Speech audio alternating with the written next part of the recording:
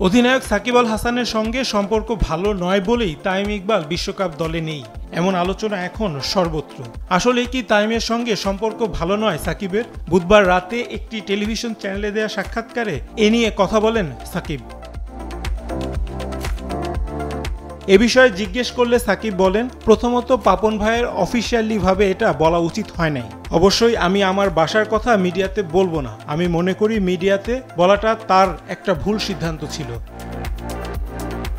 তাইমের সঙ্গে সম্পর্ক যে আগের মতো বন্ধুত্ব পর্যায়ে নেই, পরোক্ষভাবে স্বীকার করেন সাকিব। বলেন, ওই সময় কি কথা না বলা আমাদের দলের জন্য খারাপ প্রভাব ফেলতো? আমার তো কখনো মনে হয়নি। অনেক উদাহরণ আছে, আমরা মাঠে কথা বলেছি। আমার মনে হয় না ওটা দলে প্রভাব পড়তো।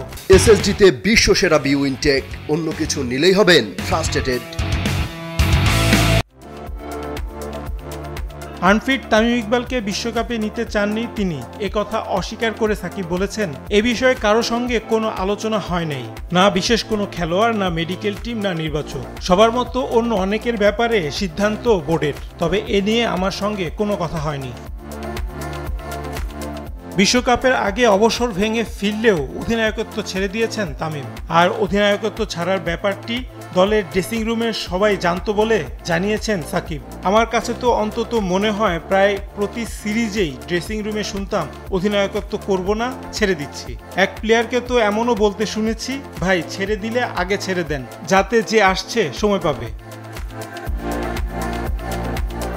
তাইম ইকবালকে মিডল অর্ডারে খেলার প্রস্তাবকে সমর্থন করেন সাকিব। বলেন, দলের প্রয়োজনে যে কারও যে কোনো পজিশনে খেলতে রাজি থাকা উচিত। কেউ এসবের বাইরে গিয়ে যদি ভাবেন, তাহলে তিনি দলের আগে নিজের কথা ভেবেছেন।